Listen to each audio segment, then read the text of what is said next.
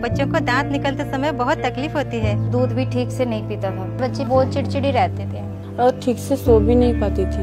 हमारे प्रधानमंत्री जी ने भी इच्छा ज़ाहिर की है कि होम्योपैथी का प्रचार प्रसार किया जाए। विशेषकर बच्चों के दांत निकलते समय होने वाली तकलीफों के लिए। टीथिंग स्टेज में बच्चों को होने वाली तकलीफों को दूर करने के लिए होम्योपैथी फॉर हेल्दी चाइल्ड की शुरुआत की गई।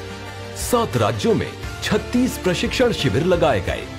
1709 आशा और एएनएम वर्कर्स को प्रशिक्षित किया गया। छह मेडिसिन वाली होम्योपैथी किट दी गई। चौवालीस डॉक्टर और 1540 आंगनबाड़ी वर्कर्स को भी सेंसिटाइज किया गया।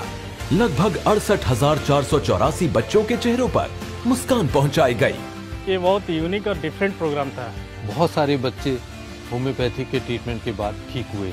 इस दवाई को हमने घर घर तक पहुँचाया है। ये मीठी है तो बच्चे आराम से खा सकते हैं। बच्चों के चेहरे में एक मुस्कान देख सकते हैं आप। होम्योपैथी जो बच्चों के लिए न केवल हितकर है परंतु सुरक्षित भी है इस कारण इन औषधियों की बच्चों में स्वीकार्यता अधिक है। आशा वर्कर्स के इस विषय में प्रयास काफ़ी सराहनीय है।